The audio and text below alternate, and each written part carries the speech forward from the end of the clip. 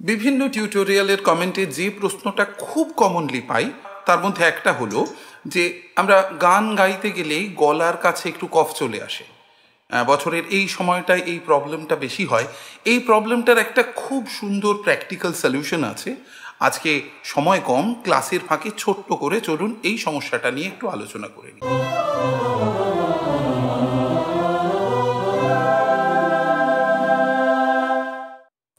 নমস্কার সল্টলেক সুরের ধারার পক্ষ থেকে আমি সায়ন সেনগুপ্ত রবিস্কোপের এই ডিজিটাল গানের ক্লাসে আপনাদের সবাইকে স্বাগত জানাচ্ছি। এই চ্যানেলে আমাদের প্রধান ফোকাসটা রবীন্দ্রনাথের গান, আমাদের নাম থেকেই বোঝা যাচ্ছে। কিন্তু তার পাশাপাশি বিভিন্ন ধরনের সহজ হিন্দুস্তানি ক্লাসিক্যালের রেওয়াজ নিয়ে আমরা কথা বলি। অ্যাট দ্য সেম টাইম খুব স্বাভাবিক কিছু সমস্যা যেগুলো আমাদের গান গাইতে গিয়ে হয়, সেগুলো নিয়েও আমরা আমার সামান্য জ্ঞানগম্যী অনুসারে বাস্তবচ্যুত আলোচনা করার চেষ্টা করি। আজকে সেরকমই একটা সমস্যা। এই সমস্যাটার কমন নাম হচ্ছে স্মোকার্স কাফ এটা আমার মতো যারা, যাদের ধূমপানের অত্যন্ত বদ অভ্যাস আছে, অত্যন্ত খারাপ জিনিস, আমি প্রাণপণে চেষ্টা করছি ছাড়তে, আমি ছাড়তে পারছি না। আপনারা সবাই অ্যাভয়েড করবেন, আমি জানি এটা কতটা খারাপ। সাধারণত আমাদের মতো লোকদের এই প্রবলেমটা হয়। গলার ঠিক এইখানটায় এক এক দলা, ছোট্ট একটা কফের দলা যেন আটকে আছে। এই সমস্যাটার ডাক্তারি পরিভাষায় এটাকে বলা হয় স্মোকার্স কাফ এবার এটা যারা নন স্মোকিং পার্সন তাদেরও হতে পারে। বিভিন্ন কারণে হতে পারে। কারণগুলোর মধ্যে আজকে আমরা যাব না। কিন্তু এইটা অনেক সময় দেখা যায়, বহু কমেন্টে আমি দেখেছি এবং ঘটনাটা সত্যি যে দীর্ঘদিন গান বন্ধ ছিল, আবার গান আরম্ভ করেছেন এমন কোনো মানুষ, তার এই সমস্যাটা ভীষণ হতে চায়। মনে হতে চায় যে গলার কাছে যেন একটু কফ আটকে আছে এবং কফটা ফেলে আসার পরও আবার যেন মনে হয় কিছুক্ষণ বাদেই গলার কাছে এক দলা, ছোট্ট এক দলা কফ আটকে আছে। এইটার একটা খুব সহজ এবং হ্যান্ডি সলিউশন আছে। সেই সলিউশনটা আমরা প্রায় সবাই জানি। সেটা হচ্ছে ওয়ার্ম ভেপার ইনহেল করা, যেটাকে আমরা ভেপার নেওয়া বলি। গলার পার্সপেক্টিভে আমরা দুটো জিনিস ভীষণভাবে প্রেসক্রাইব করে থাকি। একটা হচ্ছে একটু গার্গেল করা, আগেকার দিনে ভীষণ বলা হতো। এখন বলা হয় ভেপার নেওয়া, কারণ গার্গেল আর ভেপারের মধ্যে ভেপারটা গলার জন্য বেশি ভালো। কেন বেশি ভালো? সেই আলোচনায় আজকে আমরা যাচ্ছি না, সেটা একটা আলাদা আলোচনার বিষয়। সেটা নিয়ে পরবর্তী সময় আরেকটা ভিডিও করার ইচ্ছে রইল। আজকে যে জায়গাটার উপর আমরা এমফ্যাসিস দেব, সেটা হচ্ছে এই স্মোকার স্কাফ এটা যদি খুব প্রলং পিরিয়ড ধরে ভেপার নেওয়ার পরেও হয়ে যেতে থাকে, তাহলে কিন্তু একজন ইএনটির পরামর্শ নেওয়া দরকার। কিন্তু আমার অভিজ্ঞতা বলে, মোটামুটি in eighty percent of the cases আমরা যদি একটু ঠিকঠাকভাবে ভেপার নিতে পারি, তাহলে কিন্তু এই প্রবলেমটা আমাদের সেরে যায়। অনেকবার আপনারা কমেন্ট করেছেন, আমি এক লাইনে সেরে দিয়েছি তার উত্তরে যে রাত্রিবেলা একটু সবার আগে ভেপার নিয়ে দেখুন। এবার এই উপদেশটা অসম্পূর্ণ, কারণ এই ভেপার নিন, এই উপদেশটা সবাই দেয় ভেপারটা কীভাবে নিতে হবে সেইটা নিয়ে সাধারণত আমরা কেউ কথা বলি না। অত্যন্ত সাধারণ জিনিস কিন্তু তাও আমার মনে হয় কিছু কিছু টেকনিক ভেপার নেওয়ার। সেটা নিয়ে যদি আমি আলোচনা করি, তাহলে এই সমস্যাটা যাদের আছে তারা উপকৃত হবেন। আজকে সেরকমই একটা ভিডিও আমরা একদম ছোট্ট সময়ের মধ্যে বানাতে চলেছি।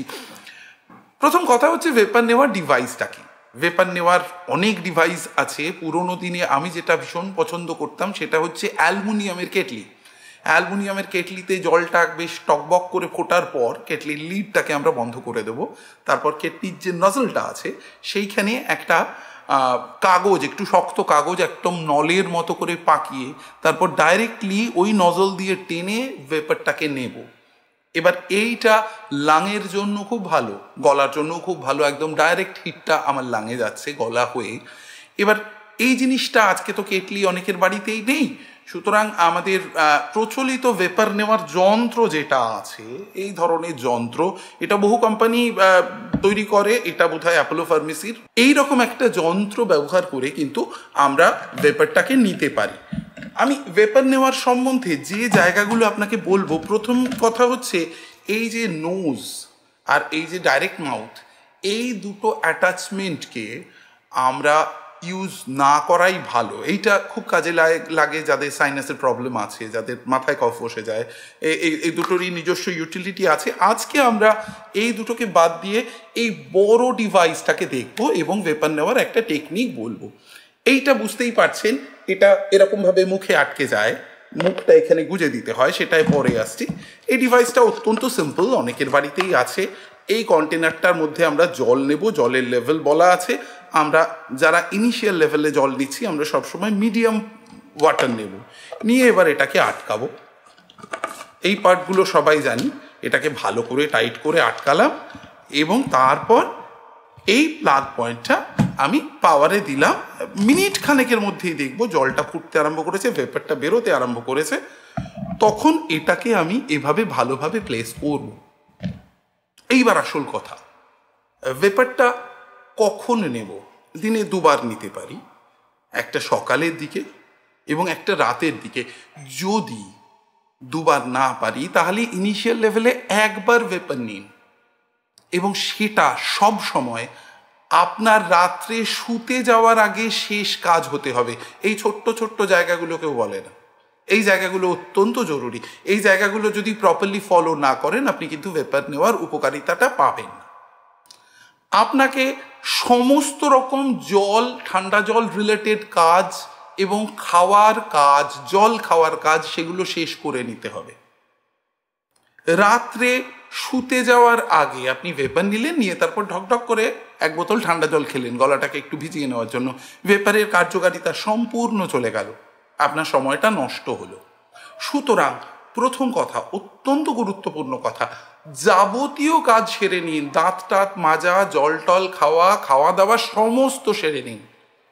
একদম শুতে যাওয়ার আগে এই ভেপারটা নিয়ে সম্ভব হলে গলায় একটা স্কার্ফ জাতীয় কিছু জড়িয়ে যাতে গলায় হিটটা থাকে, শুতে চলে যান। এবং এই জিনিসটা যদি আপনি পাঁচ থেকে সাত দিন রোজ করেন, তাহলে আমার বিশ্বাস আপনার এই যে স্মোকোস্কাফের প্রবলেমটা এটা অনেকটা সলভ হয়ে যাবে। এবার কথা হচ্ছে ভেপারটা নেব কীভাবে? এখান দিয়ে ডাইরেক্ট ভেপারটা উঠছে এবং আমার মুখটাকে পুরো নাক মুখ দিয়ে এখানে ফিক্স করে দিতে হবে এবং সেখানে আমরা মাথার ওপর দিয়ে একটা টাওয়েল দিয়ে ব্যাপারটাকে মুড়ে নেব যাতে ভেপারটা এসকেপ না করে যায়। খেয়াল রাখব, এই যে কভার করার জিনিসটা, এটা সবসময় পোরাস কিছু একটা হতে হবে। কখনোই পলিথিন বা একদম আটকে দেওয়ার মতো কিছু নয়, তাতে কিন্তু ক্ষতি। খানিকটা ভেপারকে আমায় বেরিয়ে যেতে দিতে হবে। টাওয়াল হতে পারে, গামছা হতে পারে এবং সেটাকে মাথার ওপর দিয়ে ভালো করে বিছিয়ে তারপরে এখানে আমি হিটটা টানবো একই সঙ্গে নাক এবং মুখ দিয়ে। এটা খুব জরুরি।